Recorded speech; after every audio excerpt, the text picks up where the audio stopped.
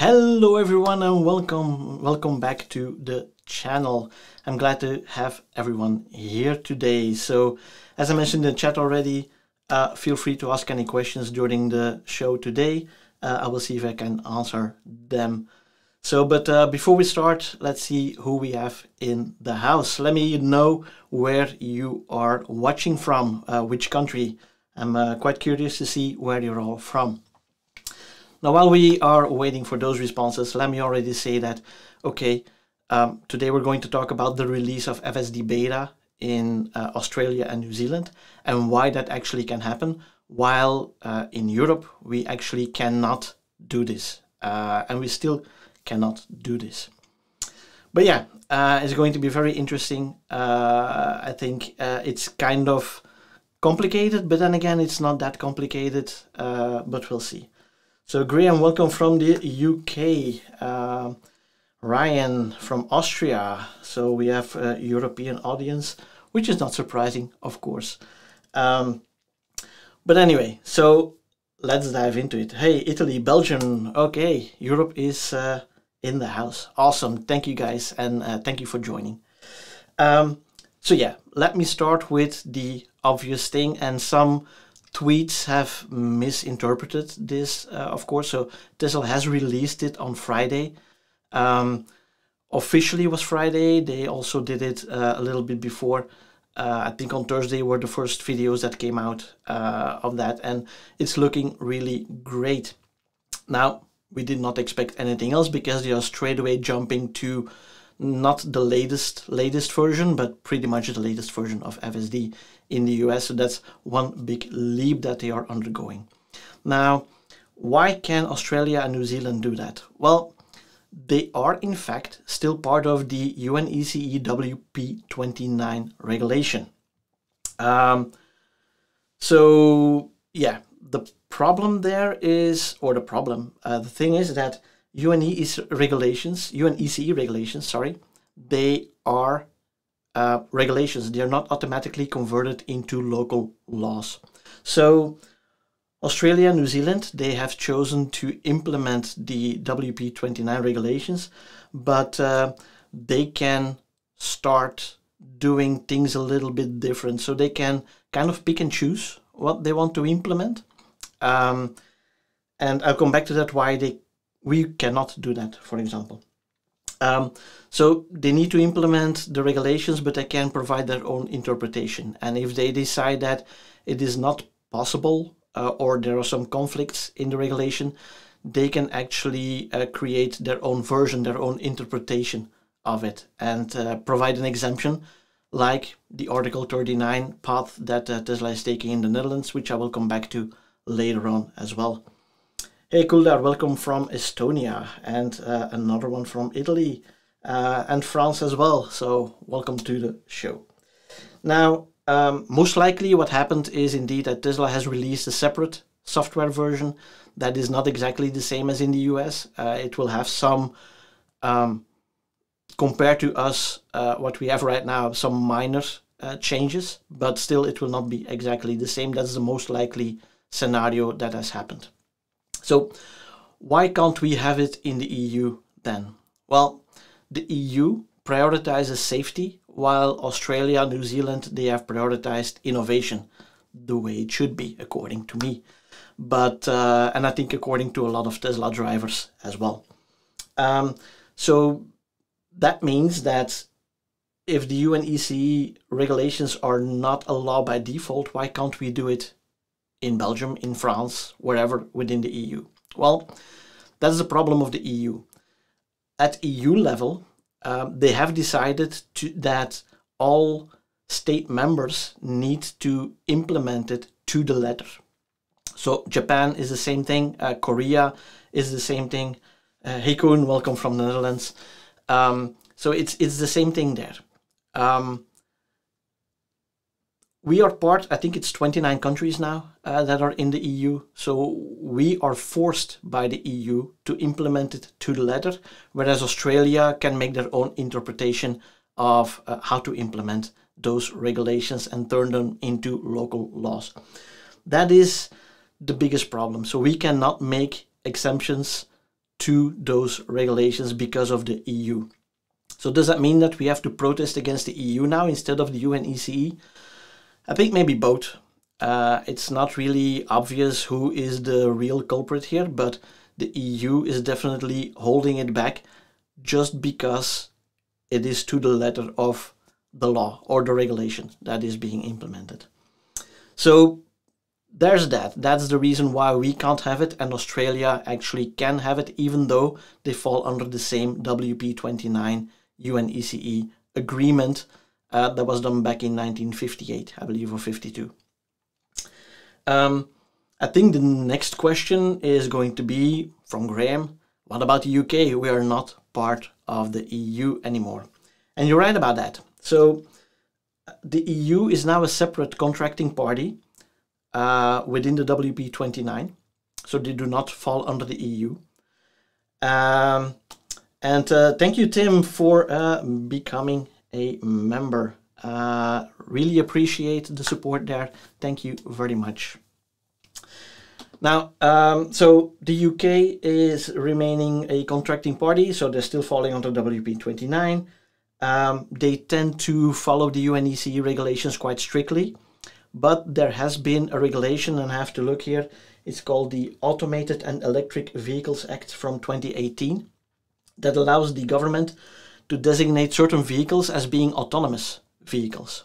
Now, this is geared towards level 3 plus cars. So level 3, level 4, level 5. Um, Mercedes, uh, for example, can do that. And uh, yeah, BMW, I think, also has it uh, by now. But uh, Tesla, supervised FSD, FSD beta, whatever you want to call it, is still a level 2 a very good level 2 system, uh, but it's still a level 2 because it requires that supervision. As of level 3, uh, you have to go back and watch the other videos. I don't have the slide uh, handy right now, but as of level 3, the automaker is taking responsibility. Level 2, you as a driver are always responsible at any and all times. Um, so yeah, hey Tim, uh, really appreciate those uh, those comments, and it means a lot to me. Thank you very much. Thank you very much. Um, so yeah, um, that's one thing. Again, Graham, uh, you are right.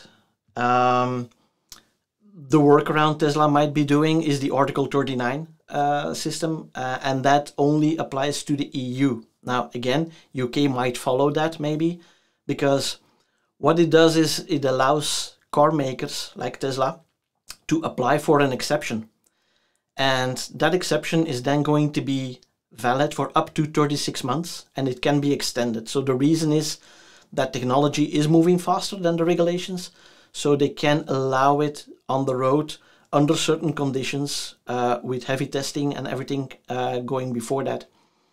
And once that has been approved, uh, the regulators basically have 36 months to catch up with the regulation. If not, it can be extended again. But in the meantime, it is allowed on the road in the Netherlands if it is approved there. Now, we know that it is happening. Um, what we don't know is the schedule because so far it hasn't appeared on any of the uh, of the uh, the meeting notes uh, for the RDW in the Netherlands, um, but it can still happen this year. Now, as soon as it is approved, it is automatically becoming active immediately. So that's the good news. So even if it takes a few more months, it will automatically be active, but only in the Netherlands. At that point, um, two things, well, actually three things start to happen. First of all, the clock for 36 months starts running.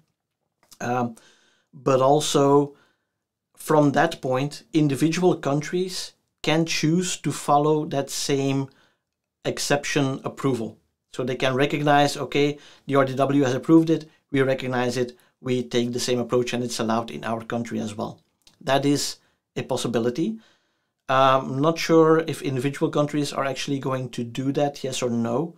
Um, but since the RDW is the European organization for the general European homologation as well, I'd say the chances are not zero that this is happening. A third thing that is uh, going to happen at that point is that Article 40 is going to come into effect. And Article 40 says that um, the RDW has to take it up with the uh, EC Council, so it's going to European level, EU level, and there they have to vote on it to accept it as a general regulation or a general approval. Again, two things can happen. It can be approved. As soon as it is, as it is approved, it is automatically approved for all EU members at that point. So that would be the best case scenario that we can have. And that will be, I think, even the quickest way that it can do, but it can also take another six months to get that approval. Um, a second thing, uh, let, let, me have a look. Uh, so yeah, if it is declined at that point, uh, well, then it also means that the RDW has to roll back their approval and Tesla has to roll back the system as well. So that would be the worst case scenario because you give hope to a few people, you let them have a taste, and then you take it back. So that can, be within six months, it can disappear again as well. So we don't know what is going to happen there. Uh, Fabio, not very confident because it seems RDW is still not assessed FSD. Correct. Do you think that a feature reduced FSD will be made available for EU after September? Um, to be honest, I have little hope for that. So the DCAS regulation has been approved for um, system initiated maneuvers on highways only. That would already be quite an improvement. Um, and I hope they will do something with that. But uh, I think that Tesla is not, as Rohan Patel said at the beginning of the year, uh, Tesla is not going to go into putting all these kinds of UN ECE flags in their code. It is a system that is designed to be a pure AI, so it's difficult to put some hard-coded things in there. Um, even though they probably will have to do partly hard-coded, uh, since there are so many regulations that it has to follow really strictly. Like for example, in the US, it follows traffic instead of traffic regulations uh, in terms of speed. Um, here, well, you get fined as soon as you go one mile an hour or one kilometer an hour above the speed limit uh, officially. So those things will have to be adjusted and we will have to get a separate version uh, nonetheless. I hope so. I really hope so. As of September 26th, it is going to be possible, but I think Tesla will want to roll out FSD as a package and not like a simplified version specifically for Europe. But we'll see. We'll see right now my state of mind is more like let's hope for the best but expect the worst right then you get the least disappointment uh, especially since my car is still a hardware 3 car and i suspect that they will roll out everything to model 3 model y hardware 4 cars at first as they are doing now in australia uh, as well because those are the most cars they get the most data from it is the the, the cheaper cars uh, that they have. So that's why they have more of them. And probably that's the way they want to do it. And they also have kind of the latest technology in terms of the hardware for full self-drive as well which I always found really weird because usually car makers go from top down uh, you got the Mercedes S-Class getting all the new stuff that trickles down to the cheaper ones. Here it's the other way around. Usually you get the Model 3, Model Y getting the new stuff and then it trickles up to Model S, Model X, unfortunately. So yeah, as long as I will have the hardware 3, Model S Plaid, um, I think uh, I will be kind of lost in line, unfortunately. But we'll see. If the new Plaid arrives, maybe I'll upgrade. Um, I don't know, but I think I would want to wait for hardware 5 to be sure. Uh, but maybe that's the reason why it's not available in Europe anymore because they're doing that upgrade to Model S. Who knows? Again, hope for the best, expect the worst. Um, so as I mentioned already, the rollout procedure, even if they do it like this, uh, the rollout procedure is going to be hardware 4 first and then Model 3, Model Y. Uh, probably even with a limited beta program as they did initially in the US um, because our roads are vastly different from there. Um, but we'll see. Um, in in I think in the next few weeks. I read it would roll out to customers already in uh, Australia and New Zealand. So we'll see how wide that rollout is going to be there. And that will definitely be a good indication for how it will be in our neck of the woods once it arrives. Um, another thing that uh, I expect the worst from, uh, but it's from a business perspective that I'm looking at things here, is that I don't think that Tesla will actually update the or upgrade the hardware 3 cars to hardware 4 or 5. Um, I think Tesla will do whatever they can to get you into a new car uh, so they don't have to upgrade it. They will take the car back, uh, strip it from FSD and sell it as uh, enhanced autopilot only without an upgrade path to FSD. That's costing them the least amount of money to do it that way. Maybe they give you a little bit of a higher uh, trading fee for that, but we'll have to see uh, what that actually um, what that actually will be. Uh, but the upgrade will definitely, if it comes, it will definitely not happen before we are talking about unsupervised FSD. That's what Elon mentioned from the beginning as well. As long as it can run supervised FSD, even if it's a slimmed down version or not as good of a version, you still get the supervised uh, version, which is what we all paid for basically from the start. Um, with the promise of it will eventually go unsupervised, but I don't see unsupervised happening uh, this decade, to be honest, uh, especially not in uh, in Europe uh, with all the regulations. So yeah, that's my opinion. I hope I'm wrong. I'm hoping it's going to be a lot sooner than that, but we'll have to wait and see. So Robin, if uh, if FSD does get approved by the RDW, hardware 4 gets FSD, would there be any hope for Dutch owners requesting retrofit? So I think I just answered that. Um, for supervised FSD, I don't think so uh, because it does run on hardware 3. It's just a slightly worse version of it, but it does run as proven in the US. Um, it, you need to get to unsupervised, so level 4 or level 3 uh, actually before they will start uh, thinking about doing retrofits and offering that to customers. Um, but if they do, well, they have to. Now, in the meantime, FSD is going to remain, I think, uh, transferable for the foreseeable future until all the uh, hardware 3 cars have uh, have moved on to hardware 4 or maybe hardware 5. Um, great. So um, that's kind of what I wanted to say. It's not a long live stream, but I hope this clarifies a lot of things for you. So Australia, yes, still part of UNECE. Some say they are not. Yes, they are part of the UNECE, but they fall under less strict rules because it's just Australia as one country, it's just New Zealand as one country, and not the EU, where our tiny countries are all linked together and traveling between those countries is actually made easier uh, because of those EU regulations and those enforcement of those regulations. Unfortunately, we are on the other side right now of that of that uh, sword, so it's a double-edged sword. Uh, one thing is good.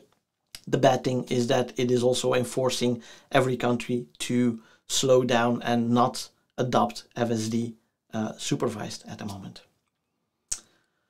So great. Uh, again, thank you guys for tuning in. Uh, I hope you learned a bit. Uh, if there are any other questions, please still leave them in the comments underneath the video once the live stream is done. And uh, yeah, give it a thumbs up. Don't forget to subscribe and I'll see you guys in the next one. Thank you very much. Bye bye.